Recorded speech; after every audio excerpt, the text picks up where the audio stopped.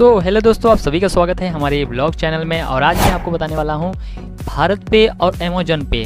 दोनों का QR code मेरे पास आया हुआ है। किसमें क्या ज़्यादा मिलता है चलिए मैं आपको दिखाता हूँ। तो देखा देख सकते हैं यहाँ पे मैंने इस इमेज भी लगाई हुई है कि भारत पे के जो आ, पैकेट में जो मिला मुझे उसमें मुझे एक तो पहले मैनुअल गाइड मिलती है उसके साथ साथ मुझे दो क्यू आर कोड स्टिकर वाले मिलते हैं। वहीं पर अमेजोन पे में मैंने आपको दिखा रहा हूँ यहाँ पे कि अमेजोन में मुझे तीन स्टिकर मिलते हैं। एक स्टैंडी मिलता है, जिसको मैंने आपको दिखाया है। अगर आप इसका शॉर्ट्स भी देखना चाहें तो मेरे चैनल पे देख सकते हैं, और फुल वीडियो भी चैनल पर है, आप जाके देख सकते हैं। तो यही था। अगर आपको ये वीडियो अच्छी लगी हो तो वीडियो को लाइक करें, चैनल को सब्सक्राइब करें। मिलते हैं किसी नेक्स्ट ब्लॉग में। धन्यवाद।